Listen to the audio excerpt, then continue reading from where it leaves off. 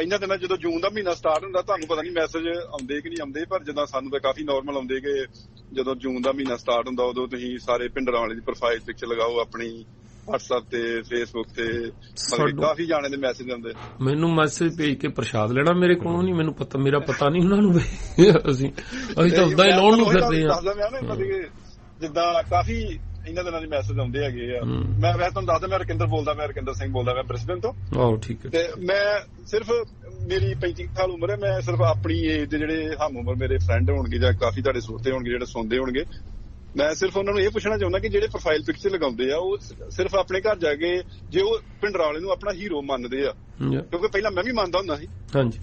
ਕਿ ਉਹ ਆਪਣੇ ਆਪਣੇ ਘਰ ਜਾ ਕੇ ਸਿਰਫ ਆਪਣੇ ਫਾਦਰ ਸਾਹਿਬ ਨੂੰ ਇਹੀ ਪੁੱਛਣ ਕਿ ਉਹਨਾਂ ਨੇ ਜੇ ਉਹ ਪਿੰਡਰਾਂ ਵਾਲੇ ਸ- ਮਤਲਬ ਜਰਨੈਲ ਸਿੰਘ ਜੀ ਸੱਚਮੁੱਚ ਇਹ ਹੀਰੋ ਸੀ ਤੇ ਉਹਨਾਂ ਦੇ ਫਾਦਰ ਸਾਹਿਬ ਨੇ ਉਹਨਾਂ ਦਾ ਸਾਥ ਕਿਉਂ ਨਹੀਂ ਦਿੱਤਾ? ਯਾ। ਬਸ ਇਹ- ਮੈਂ ਸਵਾਲ ਕਰਨਾ ਚਾਹੁੰਦਾ ਕਿ ਹਾਂ ਵੀ ਜਿਹੜੇ ਜਿਹੜੇ ਪ੍ਰੋਫਾਈਲ ਪਿਕਚਰ ਗਾਉਂਦੇ ਆ ਆਪਣੇ ਆਪਣੇ ਘਰ ਜਾ ਕੇ ਜ਼ਰੂਰ ਪੁੱਛਣ ਇਹ ਚੀਜ਼ ਕਿ ਆਪਣੇ ਆਪਣੇ ਫਾਦਰ ਸਾਹਿਬ ਨੂੰ ਕਿ ਤੁਸੀਂ ਪਿੰਡਰਾਂ ਵਾਲੇ ਦਾ ਸਾਥ ਕਿਉਂ ਨਹੀਂ ਦਿੱਤਾ? ਜੇ ਉਹਨਾਂ ਨੇ ਸਾਥ ਨਹੀਂ ਦਿੱਤਾ ਫਿਰ ਉਹਨਾਂ ਕੋਲ ਕਨਫਰਮ ਕਰਨ ਕਿ ਕਿਉਂ ਨਹੀਂ ਦਿੱਤਾ ਉਹ ਤਾਂ ਸਾਡੇ ਹੀਰੋ ਆ। ਨਹੀਂ ਨਹੀਂ ਜਿਨ੍ਹਾਂ ਨੂੰ ਅਸੀਂ ਕਹਿੰਨੇ ਨਾ ਸਾਥ ਦਿੱਤਾ ਵੀਰਾ ਉਹ ਵੀ ਇਦਾਂ ਹੋਈ ਆ ਜਾਂ ਤਾਂ ਉਹਨਾਂ ਚ ਉਹ ਜੈਨੂਇਨ ਕਿਸਮ ਦੇ ਬੰਦੇ ਸੀ ਜਿਨ੍ਹਾਂ ਨੂੰ ਪੁਲਿਸ ਨੇ ਇਹ ਚਾਹਿਆ ਆ ਕਿਉਂਕਿ ਪੁਲਿਸ ਉਦੋਂ ਸਰਕਾਰ ਦੀ ਪਾਲਿਸੀ ਸੀ ਇਹ ਵੀ ਲੋਕ ਇੰਨੇ ਕੁ ਦੁਖੀ ਹੋ ਕੇ ਇਸ ਰਾਹ ਤੇ ਤੁਰਨ ਤਾਂ ਕਿ ਉਹਨਾਂ ਨੂੰ ਕੁਚਲਣ ਲਈ ਸਰਕਾਰ ਨੂੰ ਬਹਾਨਾ ਮਿਲੇ। ਹਾਂ।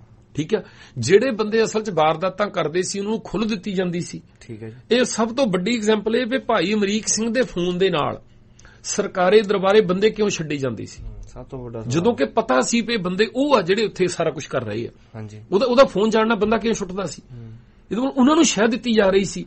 ਜਦੋਂ ਵਾਰਦਾਤ ਹੁੰਦੀ ਸੀ। ਉਹ ਤੋਂ ਬਾਅਦ ਪਿੰਡ ਦੇ ਆਮ ਲੋਕਾਂ ਨੂੰ ਚੱਕ ਕੇ ਤਸ਼ੱਦਦ ਕੀਤਾ ਜਾਂਦਾ ਸੀ। ਉਹ। ਜੈਨੂਅਲੀ ਕਿਉਂਕਿ ਉਹਨਾਂ ਨੂੰ ਮਜਬੂਰ ਕੀਤਾ ਜਾ ਰਿਹਾ ਸੀ ਵੀ ਤੁਸੀਂ ਸ਼ਾਮਲ ਹੋਵੋ ਸੰਘਰਸ਼ ਵਿੱਚ। ਹਾਂਜੀ। ਜਿਹੜੇ ਬੰਦੇ ਤੇ ਇਦਾਂ ਦਾ ਤਸ਼ੱਦਦ ਹੋ ਜਾਂਦਾ ਸੀ। ਉਹਨੂੰ ਫਿਰ ਆ ਕੇ ਉਹ ਬੰਦੇ ਆ ਕੇ ਕੰਟੈਕਟ ਕਰਦੇ ਸੀ। ਹਾਂ ਸਿੱਧਾ ਮਤਲਬ ਆਓ ਤੁਸੀਂ ਹਥਿਆਰ ਲਾਓ। ਇਹਨੂੰ ਤਾਂ ਇੱਕੋ ਇੱਕ ਇੱਕੋ ਇੱਕ ਹੱਲ ਹੱਲ ਸੋਧਾ ਹੈ। ਲਈਏ ਆਪਾਂ। ਹੂੰ। ਉਹਨੂੰ ਭੜਕਾਇਆ ਜ਼ਹਿਰ ਅਨਪਲੋਇਮੈਂਟ ਪਹਿਲਾਂ ਹੀ ਸੀਗੀ। ਫਰਸਟ੍ਰੇਟ ਪਹਿਲਾਂ ਹੀ ਹੋਏ ਸੀ ਨੌਜਵਾਨ। ਹਾਂਜੀ। ਠੀਕ ਹੈ? ਉਹਨੂੰ ਧੱਕਿਆ ਗਿਆ ਉਸ ਪਾਸੇ ਨੂੰ। ਹਾਂਜੀ। ਉਹ ਜਿਹੜੇ ਬੰਦੇ ਆਪਣੇ ਆਪ ਜੁੜੇ ਆ ਨਾ ਉਹ ਉਹ ਜੁੜੇ ਜਿਨ੍ਹਾਂ ਨੂੰ ਕੋਈ ਨਾ ਕੋਈ ਬੈਨੀਫਿਟ ਸੀਗਾ। ਹਾਂਜੀ। ਲੋਕਾਂ ਨੇ ਨਿੱਜੀ ਦੁਸ਼ਮਣੀਆਂ ਕੱਢੀਆਂ ਆ। ਬੈਂਕਾਂ ਲੁੱਟੀਆਂ ਅਰਬਾਂ ਇਹ ਨਿਊਜ਼ੀਲੈਂਡ ਅਮਰੀਕਾ ਕੈਨੇਡਾ ਮੈਂ ਕਹਿੰਦਾ ਬਹੁਤ ਸਾਰੇ ਮੁਲਕਾਂ 'ਚ ਇਦਾਂ ਦੇ ਕਿੰਨੇ ਟੱਬਰ ਹੋਣੇ ਆ ਜਿਨ੍ਹਾਂ ਦੇ ਕੋਲ ਖਾੜਕੂਬਾਦ ਦਾ ਕਰੋੜਾਂ ਰੁਪਈਆ ਜਿਹੜਾ ਉਦੋਂ ਦਾ ਨੱਪਿਆ ਬਾਅਦ ਵਿੱਚ ਕੱਢਿਆ ਉਹਨਾਂ ਨੇ। ਠੀਕ ਹੈ ਜੀ। ਠੀਕ ਹੈ? ਉਹ ਬੰਦੇ ਨਾਲ ਸੀ ਬਸ ਹਾਂਜੀ ਹਾਂਜੀ ਬਿਲਕੁਲ ਗੱਲ ਤੁਹਾਡੀ ਬਾਈ ਠੀਕ ਆ। ਨਾਲੇ ਮੈਂ ਭਾਜੀ ਇਹ ਗੱਲ ਕਹਿਣੀ ਕਿ ਜਿਹੜੇ ਉਸ ਟਾਈਮ ਦੇ ਨਾਲ ਜੁੜੇ ਵੀ ਸੀ ਜੇ ਮਤਲਬ ਕਿ ਹੁਣ ਜਿਹੜੇ ਲੜਕੇ ਜਿਹੜੇ ਫੋਲੋ ਕਰਦੇ ਆ ਕਾਫੀ ਮੁੰਡੇ ਫੋਲੋ ਕਰਦੇ ਆ ਮੇਰੇ ਕਾਫੀ ਫਰੈਂਡ ਹੈਗੇ ਜਿਹੜੇ ਪ੍ਰੋਫਾਈਲ ਪਿਕਚਰ ਇੰਦਾ ਲਗਾਉਂਦੇ ਆ। ਕਿ ਜਿਹੜੇ ਉਸ ਟਾਈਮ ਨਾਲ ਜੁੜੇ ਵੀ ਉਹ ਆਪਣੇ ਕਮ ਸੇ ਕਮ ਆਪਣੇ ਦਾਦਾ ਦਾਦੀ ਨੂੰ ਪੁੱਛ ਸਕਦੇ ਸੀ ਕਿ ਹਾਂ ਵੀ ਤੁਸੀਂ ਮੇਰੇ ਪਾਪਾ ਨੂੰ ਰੋਕਿਆ ਸੀ ਜਾਂ ਤੁਸੀਂ ਉਹਨਾਂ ਨੂੰ ਕਿਹਾ ਹੈ ਕਿ ਹਾਂ ਵੀ ਇਸ ਲਹਿਰ ਨਾਲ ਜੁੜੋ। ਕਿਉਂਕਿ 99% ਲੋਕ ਇਦਾਂ ਦੇ ਹੋਣਗੇ ਜਿਨ੍ਹਾਂ ਦੇ ਪੇਰੈਂਟਸ ਨੇ ਉਹਨਾਂ ਨੂੰ ਰੋਕਿਆ ਸੀ ਕਿ ਇਸ ਚੀਜ਼ ਵੱਲ ਨਾ ਜਾਵੋ। ਪਰ ਉਹ ਜਿੱਦਾਂ ਅੱਜ ਕੱਲ ਸਾਡੇ ਪੰਜਾਬ 'ਚ ਨਹੀਂ ਜਿਹੜੇ ਮਤਲਬ ਕਿ ਮਾਪਿਓ ਨਸ਼ਿਆਂ ਬਾਰੇ ਵੀ ਰੋਕਦੇ ਆ ਬੱਚਿਆਂ ਨੂੰ ਕਿ ਨਸ਼ੇ ਨਾ ਕਰੋ ਪਰ ਫਿਰ ਵੀ ਉਹ ਨਸ਼ੇ ਕਰਦੇ ਆ। ਮੇਰੇ ਹਿਸਾਬ ਨਾਲ ਇਹੀ ਉਸ ਟਾਈਮ ਤੇ ਚੱਲਿਆ ਹੋਏਗਾ ਕਿ ਹਾਂ ਵੀ ਪੇਰੈਂਟਸ ਰੋਕਦੇ ਸੀ ਕਾਫੀ ਜਣੇ ਕਿਉਂਕਿ ਮੇਰੀ ਫੈਮਿਲੀ 'ਚ ਕੁਝ ਹੈਗੇ ਸੀ ਮੇਰੇ ਮਾਮੇ ਹੁਣੀ। ਤੇ ਰੋਕਦੇ ਸੀ ਮੇਰੇ ਨਾਨੇ ਹੁਣੀ ਪਰ ਉਹ ਨਹੀਂ ਰੁਕੇ ਜਿੱਦਾਂ। ਪਰ ਉਹ- ਉਹਨਾਂ ਬੱਚਿਆਂ ਨੂੰ ਤਾਂ ਇਹ ਕਹਿ ਸਕਦੇ ਹਾਂ ਕਿ ਜਿਹੜੇ ਮਤਲਬ ਕਿ ਮਾਪਿਓ ਦੇ ਆਖੇ ਨਹੀਂ ਲੱਗਦੇ। ਹਾਂ ਨਹੀਂ ਕਈ ਲੋਕ ਇਸ ਲਹਿਰ ਨਾਲ ਕਈ ਕਾਰਨ ਹੋ ਜਾਂਦੇ। ਦੇਖੋ ਤੁਸੀਂ ਸੋਚ ਕੇ ਦੇਖੋ ਆਪਣਾ ਹੁਣ ਜਿਹੜਾ ਬੰਦਾ 40 45 ਸਾਲ ਦਾ ਉਹ ਸੋਚ ਕੇ ਦੇਖੇ ਵੀ ਉਹਦੀ ਕੁੜੀ ਆ 18 17 18 ਸਾਲ ਦੀ। ਉਹਦੀ ਪਤਨੀ ਆ। ਆਪ ਉਹ ਸਕੂਲ ਟੀਚਰ ਦੀ ਜਾਂ ਕੋਈ ਸਰਕਾਰੀ ਜੌਬ ਕਰ ਰਿਹਾ ਆ। ਹਾਂਜੀ। ਪਿੰਡ ਦੇ ਵਿੱਚ ਠੀਕ ਹੈ ਜੀ। ਪਿੰਡ 'ਚ ਰਹਿੰਦਾ। ਹਾਂਜੀ। ਹਨਾ? ਹਾਂਜੀ। ਉਹਦੀ ਇੱਕ ਲੜਕੀ ਆ ਇੱਕ ਲੜਕਾ ਆ। ਹਾਂਜੀ। ਜਿਹੜੇ ਲੜਕੇ ਆ ਉਹ ਤਾਂ ਵੈਸੇ ਹੀ ਤੁਸੀਂ ਦੇਖੋ ਅੱਜ ਅੱਜ ਤਾਂ ਸਮਾਂ ਬਿਲਕੁਲ ਗਾਹਾਂ ਚੱਲ ਗਿਆ ਆ। ਅੱਜ ਤੋਂ 30 ਸਾਲ ਪਹਿਲਾਂ ਮੁੰਡੇ ਉਦਾਂ ਹੀ ਅਗਰੈਸਿਵ ਹੁੰਦੇ ਆ ਥੋੜਾ ਜਿਹਾ। ਹਾਂਜੀ। ਠੀਕ ਆ? ਹਾਂਜੀ। ਵੀ ਕੁੜੀਆਂ ਥੋੜੀ ਇਦਾਂ ਹੁੰਦੀਆਂ ਵੀ ਜੇ ਕੋਈ ਗੱਲ ਕਹੇ ਕੁੜੀ ਇੱਕਦਮ ਕਹੇ ਵੀ ਮੈਂ ਉਹਨੂੰ ਕੁੱਟਣ ਚੱਲੀ ਆ। ਜੀ। ਇਦਾਂ ਵੀ ਮੈਂ ਖੂਹ ਛਾਲ ਮਾਰ ਦੇਣੀ ਆ। ਹਨਾ? ਤੇ ਇੱਕ ਟਾਈਮ ਆਉਂਦਾ ਇੱਕੋ ਹੀ ਕਾਰਨ ਹੁੰਦਾ ਲੜਕੀ ਦਾ ਜਦੋਂ ਉਹਨੂੰ ਕਿਸੇ ਨਾਲ ਪਿਆਰ ਹੋ ਜਵੇ। ਉਸ ਵੇਲੇ ਉਹ ਵਿਦਰੋਹ ਕਰਦੀ ਆ। ਤਾਂ ਮੁੰਡੇ ਕੋਲ 20 ਕਾਰਨ ਹੁੰਦੇ ਆ। ਤਾਸ਼ ਖੇਲਣ ਲਈ ਸਕੂਟਰ ਲੈਣਾ ਆ ਮੁੰਡਿਆਂ ਨਾਲ ਫਿਲਮ ਦੇਖਣ ਜਾਣਾ ਆ ਸ਼ਰਾਬ ਪੀਣੀ ਆ ਕਰਨਾ ਆਹ ਕਰਨਾ। ਕਿੰਨੀਆਂ ਕੁ ਲੜਕੀਆਂ ਜਿਨ੍ਹਾਂ ਨੇ ਘਰਦਿਆਂ ਨੂੰ ਇਦਾਂ ਗਲ 'ਚ ਗੂਠਾ ਦਿੱਤਾ ਹੋਵੇ ਮੈਂ ਨਸ਼ਾ, ਮੈਂ ਸ਼ਰਾਬ ਪੀਣੀ ਆ ਮੈਨੂੰ ਪੈਸੇ ਦਿਓ। ਨਾ ਜੀ। ਠੀਕ ਹੈ। ਉਹ ਕੁਦਰਤ ਵੱਲੋਂ ਹੀ ਆ। ਹਨਾ? ਹੁਣ ਉਹ ਹੁਣ ਜਿਹੜਾ ਬੰਦਾ 45 50 ਸਾਲ ਦਾ ਜਿਹੜਾ ਜੌਬ ਕਰਦਾ ਜਿਹਦੀ ਵਾਈਫ ਆਪ ਜਾਨੀ ਸਫਿਆਨੀ ਵਧੀਆ ਪਿੰਡ ਦੇ ਵਿੱਚ ਰਹਿਣੇ ਵਾਲੀ ਆ ਲੜਕੀ ਉਹਦੀ 18 20 ਸਾਲ ਦੀ ਆ ਉਹਦਾ ਲੜਕਾ ਪੈ ਗਿਆ ਇਸ ਪਾਸੇ ਹਾਂਜੀ। ਹੁਣ ਉਹ ਉਹ ਗਿਆ ਦੌੜ ਘਰੋਂ। ਹਾਂਜੀ। ਤੇ ਪੁਲਿਸ ਨੇ ਆ ਕੇ ਲੜਕੀ ਨੂੰ ਵੀ ਬਿਠਾ ਲਿਆ ਉਹਦੀ ਤੀਵੀਂ ਨੂੰ ਵੀ ਬਿਠਾ ਲਿਆ ਹਾਂਜੀ। ਘਰਦਿਆਂ ਨੂੰ। ਹੁਣ ਪਿੰਡ ਦੇ ਵਿੱਚ ਉਦੋਂ ਕੀ ਹੁੰਦਾ ਸੀ ਸਾਨੂੰ ਯਾਦ ਆ। ਅੱਛਾ ਜੀ। ਜਦੋਂ ਕੋਈ ਇਨਸੀਡੈਂਟ ਹੁੰਦਾ ਸੀ। ਉਦੋਂ ਪਿੰਡ ਵਾਲੇ ਸਾਰੇ ਸਲਾਹ ਹੀ ਦਿੰਦੇ ਸੀ ਕਿ ਬੰਦੇ ਨੂੰ ਬੰਦਿਆਂ ਨੂੰ ਪਰੇ ਕਰ ਦਿਓ। ਕਿ ਹੈ। ਪੁਲਿਸ ਨੇ ਚੱਕ ਕੇ ਲੈ ਜਾਣਾ। ਅੱਛਾ ਜੀ। ਠੀਕ ਹੈ। ਇੱਕ ਸਟੇਜ ਆਈ ਜਦੋਂ ਉਹ ਆ ਕੇ ਪੁਲਿਸ ਵਾਲੇ ਮੱਝਾਂ ਵੀ ਖੋਲ ਕੇ ਤੇ ਤੀਵੀਆਂ ਨੂੰ ਬਿਠਾਲ ਕੇ ਥਾਣੇ ਲਿਜਾਣ ਲੱਗ ਪਏ। ਅੱਛਾ ਜੀ। ਬੰਦੇ ਪੇਸ਼ ਨਹੀਂ ਹੁੰਦੇ। ਹਾਂਜੀ। ਹੁਣ ਮੁੰਡਾ ਦੌੜ ਗਿਆ ਆ। ਬੰਦਾ ਲੁੱਕ ਗਿਆ। ਹਾਂਜੀ। ਹਾਂ? ਘਰ ਗਏ ਆ ਤੀਵੀਆਂ ਨੇ ਕਹਿਤਾ ਜੀ ਘਰ ਹੈ ਨਹੀਂ ਕੋਈ ਵੀ। ਉਹਨੀ ਤਲਾਸ਼ੀ ਲਈ ਮੁੜ ਗਏ। ਇੱਕ ਸਟੇਜ ਤੇ ਜਾ ਕੇ ਉਹ ਤੀਵੀਆਂ ਨੂੰ ਮੱਝਾਂ ਵੀ ਖੋਲ ਕੇ ਲੈ ਗਏ। ਅਸੀਂ। ਇਦਾਂ ਦੇ ਕੇਸ ਦੇਖੇ ਆ। ਓਕੇ ਜੀ। ਅਗਰੇ 4 ਵੀਲਰ ਰਿਆਏ ਉਹ ਚ ਹਾਂਜੀ। ਮੱਝਾਂ ਲੱਦ ਲਈਆਂ। ਸਾਰਾ ਕੁਝ ਲੈ ਕੇ ਚੱਕ ਕੇ। ਠੀਕ ਹੈ ਜੀ। ਤੀਵੀਆਂ ਨੂੰ ਵੀ ਲੈ ਗਏ। ਅੱਛਾ ਜੀ। ਹੁਣ ਉਹ ਜਿਹੜਾ ਇੱਜ਼ਤਦਾਰ ਬੰਦਾ ਜਦੋਂ ਉਹਦੀ ਲੜਕੀ ਨੂੰ ਥਾਣੇ ਜਾ ਕੇ ਬਿਠਾ ਲਿਆ ਉਹ ਤੇ ਕੀ ਗੁਜ਼ਰਦੀ ਹੋਊਗੀ? ਬਿਲਕੁਲ ਜੀ ਠੀਕ ਹੈ ਦੋਏ ਰਾਹ ਆ ਉਹਦੇ ਕੋਲ। ਜਾਂ ਤਾਂ ਉਹ ਲੜਕੇ ਨੂੰ ਮਜਬੂਰ ਕਰਕੇ ਪੇਸ਼ ਕਰੂਗਾ। ਜਾਂ ਆਪ ਵੀ ਫਿਰ ਹਥਿਆਰ ਚੱਕੂਗਾ ਹੋਰ ਕੀ। ਜਾਂ ਜ਼ਹਿਰ ਖਾ ਕੇ ਮਰੂਗਾ ਇੱਕੋ ਗੱਲ ਉਹੀ ਕਹਿੰਦਾ ਹੈ। ਇਦਾਂ ਦੇ ਇਦਾਂ ਦੇ ਹਾਲਾਤ ਪੈਦਾ ਕਰ ਕਰਕੇ ਉਹਦੇ ਉਹਦੇ ਵਿੱਚ ਅਸੀਂ ਇਹ ਨਹੀਂ ਕਹਿ ਸਕਦੇ ਸਰਕਾਰ ਤਾਂ ਚਾਹੁੰਦੀ ਆ ਜਦੋਂ ਤੋਂ ਤੋਂ ਖਤਰਾ ਆ। ਉਹ ਨਿਊਜ਼ੀਲੈਂਡ ਦੇ ਵਿੱਚ ਕੋਈ ਬੰਦਾ ਕੈਨੇਡਾ ਅਮਰੀਕਾ ਦੇ ਵਿੱਚ ਕੋਈ ਬੰਦਾ ਹਥਿਆਰ ਚੱਕ ਕੇ ਇਦਾਂ ਵਿਦਰੋਹ ਕਰਨ ਦੀ ਕੋਸ਼ਿਸ਼ ਕਰੇ। ਸਰਕਾਰ ਪਸੰਦ ਕਰੂਗੀ ਉਹਨੂੰ ਉਹ ਚਾਹੁੰਦੀ ਨਹੀਂ ਸ਼ਾਂਤੀ ਦਾ ਮਾਹੌਲ। ਜਿਹੜੇ ਬਾਕੀ ਦੁਨੀਆ ਤਾਂ ਆਮ ਉਸ ਮਾਹੌਲ 'ਚ ਰਹਿਣਾ ਚਾਹੁੰਦੀ ਆ ਹਨਾ ਜਿਹੜੇ ਹੱਕ ਆ ਤੁਹਾਡੇ ਹੁਣ ਅਸੀਂ ਇੱਥੇ ਨਿਊਜ਼ੀਲੈਂਡ ਦੇ ਵਿੱਚ ਜਾਨੀ ਸਾਡਾ ਤਜਰਬਾ ਆ ਹਾਂਜੀ। ਵੀਰਾ ਇੱਥੇ ਉਹ ਬੰਦਿਆਂ ਨੂੰ ਗੁੱਸਾ ਆਇਆ ਸਾਡੇ ਤੇ। ਹਾਂਜੀ।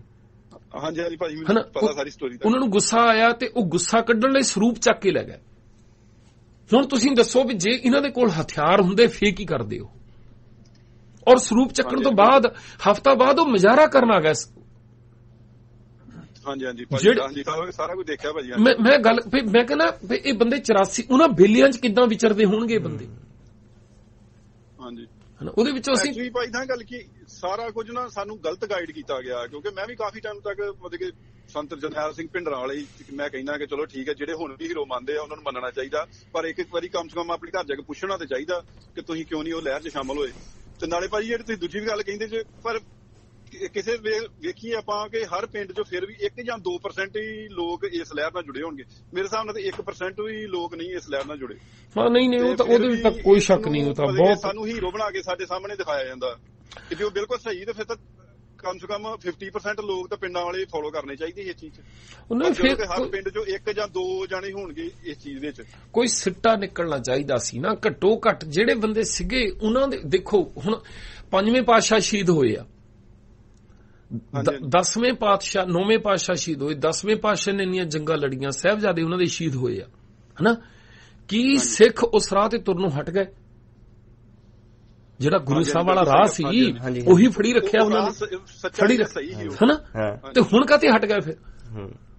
ਹਾਂਜੀ ਹਾਂਜੀ ਬਸ ਇਹੀ ਗੱਲ ਹੈ। ਪਰ ਮਜ਼ਾਕ ਹੀ ਹੈ। ਹੁਣ ਜਿਹੜਾ- ਕਾਫੀ ਮੁੰਡੇ ਇਹੀ ਚੀਜ਼ ਫੋਲੋ ਕਰਦੇ ਪਏ ਆ ਨਾ। 84 ਨੂੰ 84 ਨੂੰ ਵਰਤਾਉਣ ਵਾਲਾ ਬਾਦਲ ਆ। ਸਾਰਾ ਕੁਝ ਬਾਦਲ ਦੇ ਰਾਹੀਂ ਹੋਇਆ ਸਾਰਾ ਕੁਝ ਨਿਰੰਕਾਰੀ ਕਾਂਡ ਜਿਹੜਾ ਹੋਇਆ ਉਹਦੀ ਮਾਫੀ ਜਿਹੜੀ ਹੋਈ ਆ ਜਿੰਨੀ ਸ਼ਹਿ ਮਿਲੀ ਆ ਜਾਨੀ ਇਹਦੇ ਰਾਹੀਂ ਇਹਨਾਂ ਦੇ ਰਾਹੀਂ ਹੋਇਆ। ਤੇ ਉਹਨਾਂ ਨਾਲ ਹੀ ਯਾਰੀਆਂ ਪਾ ਕੇ ਬੈਠੇ ਆ। ਇੰਨਾ ਜਾਨੀ 2 2.5 ਲੱਖ ਨੌਜਵਾਨ ਮਰਵਾ ਕੇ ਪੰਜਾਬ ਦਾ ਲੱਖਾਂ ਕਰੋੜਾਂ ਦਾ ਜਾਨੀ ਕਈ ਲੱਖ ਕਰੋੜ ਦਾ ਨੁਕਸਾਨ ਕਰਵਾ ਕੇ ਪੰਜਾਬ ਨੂੰ 40 50 ਸਾਲ ਪਿੱਛੇ ਸਿੱਟ ਕੇ ਇੰਨੇ ਛਿੱਤਰ ਖਾ ਕੇ ਇੱਕ ਗੁਰਦੁਆਰਾ ਬਣਾ ਕੇ ਤਸੱਲੀ ਕਰ ਲਈ ਨਹੀਂ ਭਈ ਯਾਦਗਾਰ ਬਣਾਤੀ ਪਿੰਡਾਂ ਵਾਲੇ ਦੀ ਅਸੀਂ। ਬਿਲਕੁਲ ਸਹੀ ਗੱਲ ਸੋਚ। ਇੱਕ ਗੁਰਦੁਆਰਾ ਬਣਾ ਕੇ। ਹਾਂਜੀ। ਹਾਂਜੀ। ਪਤਾ ਨਹੀਂ ਕਿੱਦਾਂ ਚਲੋ ਠੀਕ ਹੈ ਭਾਜੀ ਤੁਹਾਡਾ ਪ੍ਰੋਗਰਾਮ ਬੜਾ ਵਧੀਆ ਚੱਲਦਾ ਪਿਆ। ਚਲੋ ਥੈਂਕ ਯੂ ਅਸੀਂ ਨਾ ਇੱਕ ਦਿਨ ਮੈਂ ਜਦੋਂ ਲਾਸਟ ਟਾਈਮ ਇੰਡੀਆ ਗਿਆ ਨਾ ਪਿੰਡ ਵਾਲਾ ਮੁੰਡਾ ਮੈਨੂੰ ਕਹਿੰਦਾ ਸਹਿਸੋਈ ਉਹਦੇ ਮੂੰਹ ਚੋਂ ਨਿਕਲਿਆ। ਹੂੰ। ਕਹਿੰਦਾ ਗੱਲ ਵੀ ਜੇ ਅੱਜ ਕਿਤੇ ਲਹਿਰ ਚੱਲ ਪਏ ਨਾ ਕਹਿੰਦਾ ਆਪਣੇ ਪਿੰਡ 'ਚ ਸਭ ਤੋਂ ਵੱਧ ਮੁੰਡੇ ਮੂਰੇ ਹੋਣਗੇ। ਹੂੰ। ਕਿਉਂਕਿ ਮੁੰਡੇ ਬਹੁਤ ਵਿਹਲੇ ਸੀ. ਇਸ ਵੇਲੇ ਸੱਚੀ ਭਾਈ ਮੈਂ ਹੈਰਾਨ ਹੈ ਕਿ ਉਹਨੇ ਕਿੰਨੀ ਫਿਗਰ ਆਊਟ ਕੀਤਾ ਕਿਉਂਕਿ ਆਪ ਵੀ ਵਿਹਲਾ ਕੋਈ ਜੌਬ ਹੈ ਨਹੀਂ ਸੀਗੀ। ਠੀਕ ਹੈ ਮੁੰਡੇ ਨਸ਼ੇ ਪੱਤੇ ਬਹੁਤ ਕਰ ਰਹੇ ਆ. ਕਹਿੰਦਾ ਜੇ ਕਿਤੇ ਅੱਜ ਚੱਲ ਪਿਆ ਨਾ ਸੰਘਰਸ਼ ਕਹਿੰਦਾ ਆਪਣੇ ਮੁੰਡੇ ਸਭ ਤੋਂ ਵੱਧ ਹਥਿਆਰ ਚੱਕ ਕੇ ਚੱਲਣਗੇ ਮੂਰੇ ਫਿਰ ਹੁਣ ਮੈਂ ਅੱਜ ਦਿਮਾਗ 'ਚ ਕਲਿੱਕ ਕੀਤੀ ਵੀ ਹਾਂ ਕਿਉਂਕਿ ਜੇ ਫੈਨ ਦੀ ਗੱਲ ਆ ਲੋਕੀ ਬੱਬੂ ਮਾਨ ਦੀ ਫੋਟੋ ਤੋਂ ਵੱਧ ਲੱਗੇ ਰੱਖਦੇ। ਜਿੰਨਾ ਜਿੰਨਾ ਜ਼ਿਆਦੇ ਬੰਦਾ ਨਾ ਫਰਸਟ੍ਰੇਟ ਆ ਹਾਂਜੀ। ਜਿੰਨੀਆਂ ਜ਼ਿਆਦੇ ਉਹਦੀ ਇਸ਼ਾਵਾਂ ਦੀ ਪੂਰਤੀ ਨਹੀਂ ਹੋਈ ਉਹ ਜਿੰਨੀ ਜ਼ਿਆਦੇ ਮਾਤਰਾ ਵਿੱਚ ਹਾਂਜੀ। ਉਨੀ ਜ਼ਿਆਦੇ ਮਾਤਰਾ 'ਚ ਉਹ ਵੈਸ਼ੀ ਹੁੰਦਾ ਹੈ। ਹਾਂ। ਠੀਕ ਹੈ। ਆਪਣਾ ਗੁੱਸਾ ਕੱਢਣ ਲਈ ਸਭ ਤੋਂ ਸੌਖਾ ਤਰੀਕਾ ਉਹਦੇ ਲਈ ਲੜਾਈ ਹੁੰਦਾ ਹੈ। ਹੂੰ। ਉਸ ਵੇਲੇ ਲੜਾਈ ਦਾ ਮਾਹੌਲ ਜਦੋਂ ਦਿੱਤਾ ਜਾਂਦਾ ਅਗਲੇ ਨੂੰ ਉਹ ਤੋਂ ਵੱਧ ਕੀ ਕਰੇ ਉਹ? ਬਿਲਕੁਲ। ਠੀਕ ਹੈ? ਜਿਹੜਾ ਬੰਦਾ ਜਦੋਂ ਨਾ ਕੋਈ ਬੰਦਾ ਇਹ ਕਹਿੰਦਾ ਪਏ ਮੈਂ ਜਾਨ ਦੇ ਵੀ ਸਕਦਾ। ਜਾਨ ਲੈ ਵੀ ਸਕਦਾ ਹਾਂਜੀ। ਠੀਕ ਹੈ। ਸਮਝ ਲਿਓ ਜ਼ਿੰਦਗੀ ਤੋਂ ਕਿਸੇ ਨਾ ਕਿਸੇ ਗੱਲੋਂ ਖਫਾਇਆ ਠੀਕ ਹੈ ਜੀ। ਹਾਂ। ਠੀਕ ਹੈ? ਉਹਨੂੰ ਨਹੀਂ ਤਾਂ ਇਹ ਉਹਨਾਂ ਸਟੇਟਮੈਂਟ ਦੀ ਜ਼ਿੰਦਗੀ ਹੈ ਨਹੀਂ ਹਾਂ ਜ਼ਿੰਦਗੀ ਨਹੀਂ ਉਹ ਜੀਣ ਦੀ ਗੱਲ ਨਹੀਂ ਕਰ ਰਿਹਾ। ਹਾਂ। ਠੀਕ ਹੈ? ਹਾਂ ਬਿਲਕੁਲ ਜੀ। ਹੁਣ ਔਰ ਸ਼ਾਰਟਕਟ ਸੀ ਜਿਹੜਾ ਉਸ ਵੇਲੇ ਹਥਿਆਰ ਚੱਕ ਕੇ ਜਿੰਨਾ ਕੁਝ ਹੋਇਆ ਦੇਖੋ ਪੈਸੇ ਲਈ। ਹਾਂਜੀ। ਪੈਸੇ ਲਈ ਸਭ ਤੋਂ ਵਧੀਆ ਰਾਹ ਉਸ ਵੇਲੇ ਇਹ ਸੀ ਜਿਹਦੇ ਮਰਜ਼ੀ ਕੰਨ ਤੇ ਜਾ ਕੇ ਰੱਖ ਦਿਓ। ਹਾਂਜੀ। ਕਿਸੇ ਦੀ ਤੀਮੀ ਨਾਲ ਕੁੜੀ ਨਾਲ ਸੌਣ ਲਈ ਸਭ ਤੋਂ ਸੌਖਾ ਰਾਹ ਇਹ ਸੀ। ਹਾਂਜੀ। ਠੀਕ ਆ? ਕੋਈ ਬੰਦਾ ਖੰਗਦਾ ਹੈ ਉਹਦੀ ਬੱਖੀ ਚ ਨਗਾਉਣ ਨੂੰ ਮਾਰਨ ਨੂੰ ਸਭ ਤੋਂ ਸੌਖਾ ਤਰੀਕਾ ਇਹ ਸੀ। ਔਰ ਸ਼ੈਲਟਰ ਸੀ ਮੂਰੇ ਹਾਂਜੀ। ਠੀਕ ਆ? ਹੁਣ ਹੋਰ ਜਵਾਨੀ ਦੇ ਵਿੱਚ ਜਾਨੀ ਜਿਹੜੀ ਵਿਗੜੈਲ ਜਵਾਨੀ ਆ ਉਹਨੂੰ ਹੋਰ ਕੀ ਚਾਹੀਦਾ? ਕੁਛ ਵੀ ਨਹੀਂ ਇਹਦਾ ਆਪ ਮਹਾਰੇ ਆ ਜੀ। ਨਹੀਂ ਨਹੀਂ। ਮਤਲਬ ਪੈਸਾ ਹਾਂਜੀ, ਸਭ ਕੁਝ ਮਿਲ ਰਿਹਾ, ਤੇ। ਜਿਹੜਾ ਵਿਰੋਧ ਆ ਉਹਦਾ ਕਤਲ ਕਰਨਾ। ਇਹ ਤੋਂ ਵੱਧ ਹੋਰ ਕੀ ਚਾਹੀਦਾ ਕੁਛ ਨਹੀਂ ਚਾਹੀਦਾ। ਠੀਕ। ਐਕਸਟ੍ਰੀਮ ਹੈ ਤਾਂ। ਬਸ। ਤੇ ਉਹ ਮਿਲ ਰਿਹਾ ਸੀ ਤਿੰਨੇ ਤੁਸੀਂ ਆਦੇ ਨੂੰ ਵੈਸੇ ਇੰਨੇ ਜੇਤੂ ਮੰਨਦੇ ਹੋ ਵੀ ਮੇਰੇ- ਸਭ ਕੁਝ ਮੇਰੇ ਕੰਟਰੋਲ 'ਚ ਆ। ਇਦੋਂ ਬਾਅਦ ਤਾਂ ਕੋਈ ਤਾਂ feeling ਜਾਨੀ। ਆਪਣੀ ਨਿਜ ਨਿਜ ਜਿਹੜਾ ਸੀ ਉਹਨੂੰ ਧਰਮ ਦੀ ਲੜਾਈ ਕਹਿ ਕੇ ਅਸੀਂ ਕੌਮ ਦੇ ਸਿਰ ਮੜ ਰਹੇ ਹਾਂ ਔਰ ਸਾਰੀ ਕੌਮ ਨੂੰ ਕਹਿੰਦੇ ਪਏ ਦੀ ਕੀਮਤ ਅਦਾ ਕਰੋ ਤੁਸੀਂ। ਉਹਦੇ ਚੋਂ ਮੈਨੂੰ ਤਾਂ ਅਜੇ ਤਾਈਂ ਇਹ ਜਵਾਬ ਨਹੀਂ ਮਿਲਿਆ ਕਿ ਉਹ ਜਿਹੜੇ ਬੰਦੇ ਸ਼ਾਮਲ ਹੁੰਦੇ ਸੀ ਉਹਨਾਂ ਦੀ ਟ੍ਰੇਨਿੰਗ ਕਿੱਥੇ ਹੁੰਦੀ ਸੀ? ਉਹਨਾਂ ਨੂੰ ਗੁਰਮਤ ਕੌਣ ਸਿਖਾਉਂਦਾ ਸੀ? ਆਹੀ ਟਕਸਾ ਲਿਆ। 10 ਗ੍ਰੰਥ ਸਿਖਾਇਆ ਜਾਂਦਾ ਸੀ ਉਹਨਾਂ ਨੂੰ। ਆਹ ਮਨਮਤ ਸਿਖਾਈ ਜਾਂਦੀ ਸੀ। ਸ਼ਰਮ ਆਉਂਦੀ ਮੈਂ ਤਾਂ ਪ੍ਰਭ ਦੀ ਪਰ ਗਿਆ ਤੇ ਗੋਲਡੀ ਹੁਣਾਂ ਤੇ ਜਿਹੜੇ ਭਿੰਡਰਾਂ ਵਾਲਿਆਂ ਨੂੰ ਇਦਾਂ ਇਦਾਂ ਬਹੁਤ ਮਹਾਨ ਬਣਾ ਕੇ ਪੇਸ਼ ਕਰ ਰਹੇ ਆ। ਜਿੰਨਾ ਚਿਰ ਟਕਸਾਲ ਇਹ ਤਈਆ ਨਹੀਂ ਕਰਦੀ ਵੀ ਜੇ ਭਿੰਡਰਾਂ ਵਾਲੇ ਨੂੰ ਕੌਮ ਦਾ ਸ਼ਹੀਦ ਬਣਾ ਕੇ ਰੱਖਣਾ ਹੈ ਤੇ ਉਹਨੂੰ ਟਕਸਾਲ ਤੋਂ ਤੇ ਦਸਮ ਗ੍ਰੰਥ ਤੋਂ ਉਹਨੂੰ ਕੌਮ ਦਾ ਸ਼ਹੀਦ ਕਹੋ। ਹਾਂ। ਤੁਸੀਂ ਇਹ ਤੁਸੀਂ ਤਾਂ ਬਾਬਾ ਦੀਪ ਸਿੰਘ ਨੂੰ ਵੀ ਆਪਣੇ ਨਾਲ ਜੋੜ ਲਿਆ। ਬਸ। ਸਾਰਾ ਕੁਝ ਹੀ ਆ ਠੀਕ ਹੈ ਜਿੱਥੇ ਜਿੱਥੇ ਤੁਹਾਡਾ ਮਨ ਕੀਤਾ ਗੁੰਡਾਗਰਦੀ ਕੀਤੀ। ਤੁਸੀਂ ਉਹਨਾਂ ਦੇ ਨਾਂ ਦੇ ਉੱਤੇ ਹੁਣ ਤੁਸੀਂ ਕਿਸੇ ਨੂੰ ਜੀਣ ਨਹੀਂ ਦਿੰਦੇ। ਤੇ ਅਸੀਂ ਕਿਉਂ ਮੰਨੀਏ ਸ਼ਹੀਦ ਤੁਹਾਡਿਆਂ ਨੂੰ? ਰੱਖੋ ਸਾਂਭ ਕੇ ਤੁਸੀਂ ਆਪਣੇ। ਉਹ ਗੱਲਾਂ ਦੇ ਜਵਾਬ ਦਿਓ। ਠੀਕ ਹੈ ਅੱਜ ਅੱਜ ਮਾਹੌਲ ਨਹੀਂ ਅਜੇ ਇੱਥੇ ਤੇ ਖੜਾ ਹੋਇਆ।